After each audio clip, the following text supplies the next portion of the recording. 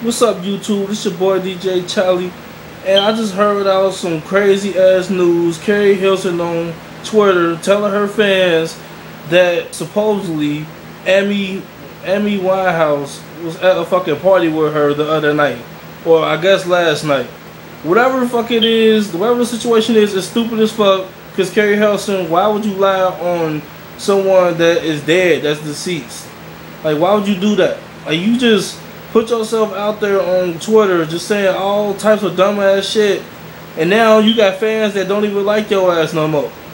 I mean, I thought you had some good music, but I really don't even fuck with you. Now you making me mad at you.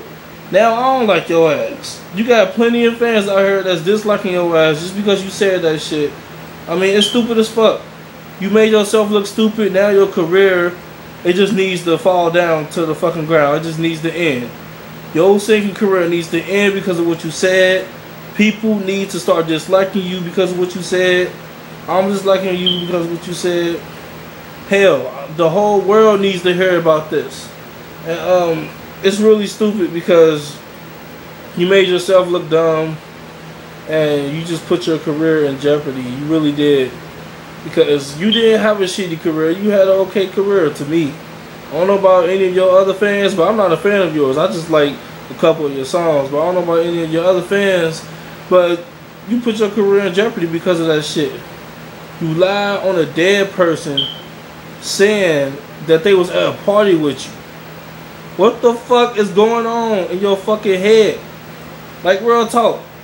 Kelly Hilson. Come on, I know you better than that. I know you better than that. You a fucking singer. You famous.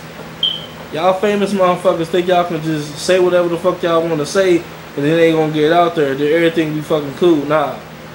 I'm gonna let y'all motherfuckers know, man. What the fuck you just said was wrong. And a lot of people out here do shit like that. I mean, why lie on the dead? Like, why would you do that? Like, come on. She just died a couple days ago and you put out some bullshit telling she was at a party with you telling your fans that though. You got on Twitter saying that shit. Everybody be on Twitter. There's plenty of motherfuckers that be on Twitter and you put that shit all out there. The whole world knows about this shit probably right now. Like, come on, Keri Hilson. I know you better than that. And um, like I said, what the fuck you did was wrong. I don't like it at all. It was disrespectful. It was mean. And you a stupid ass motherfucker. So, I'm out, man. That just pissed me off, man. Fuck this shit.